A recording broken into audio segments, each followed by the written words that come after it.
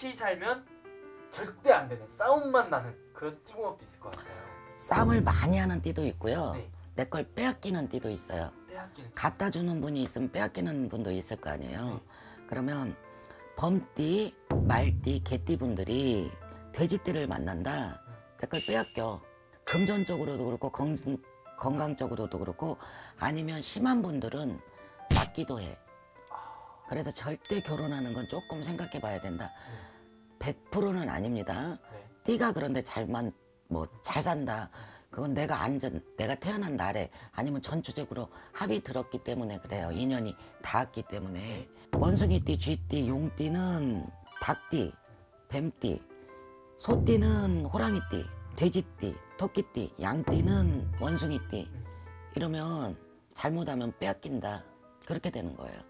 그리고 띠로도 자식도 이런 띠를 낳으면 안 돼요. 자식도 불효하고 죽을 때까지 빼앗긴다. 이게 부모를 벌어다 주는 게 아니라 부모 걸 가져가.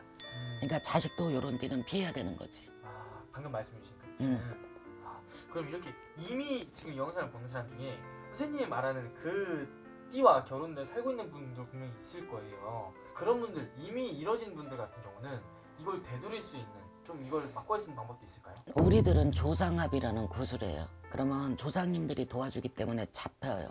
그래서 굿이라는 게 턱없이 하는 게 아니라 이유가 있어서 하는 거고 그 덕은 꼭 봅니다. 그럼 이 띠궁합이 아니더라도 이런 좀 잘 안 맞는 띠궁합이 아니더라도 너무 띠궁합은 좋은 띠궁합인데도 정말 많이 싸우고 결혼생활 힘든 분들도 있을 거예요. 그거는 본인이 앉은 자리, 내 내가 내 수가 아니면 내 전생의 업장으로 내 배우자는 너무 좋은데 내 수가 나쁘면 좋은 배우자가 들어와도 나빠져. 그런 것들은 꼭 조상의 덕이 필요한 거예요. 그런 분들은 그렇게 괴롭게 살 수는 없잖아. 그런 분들은 또 재혼해도 마찬가지야. 음, 더 좋은 사람 만날 거라는 보장이 없거든. 그러니까 조상의 힘을 빌리고 신령님의 힘을 빌리는 게 현명한 거죠.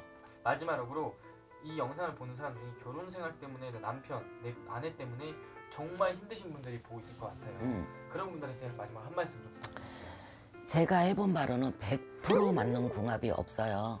다만 맞춰가면서 사는 건데 요새는 서로가 이겨먹으려고 해서 그래.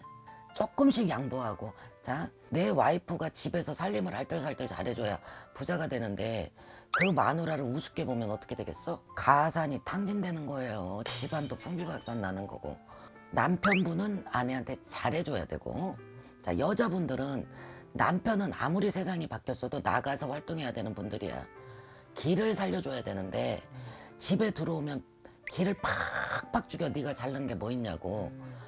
그러면 남편이 아무리 운이 좋다고 나가서 인정을 받겠냐고.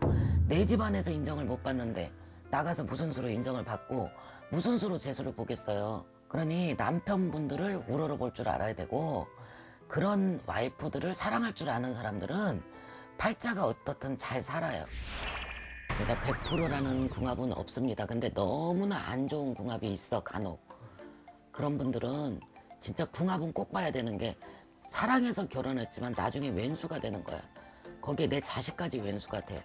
이런 경우들은 안 하니만 못하니까 진짜 궁합은 좀 보고 나쁜 것들을 알고 나한테 있는 단점, 상대편한테 있는 단점 이것들을 서로 눌러주고 보듬어 줄 수 있게끔 해서 마음을 가다듬고 가는 게 맞지 않을까 싶어요.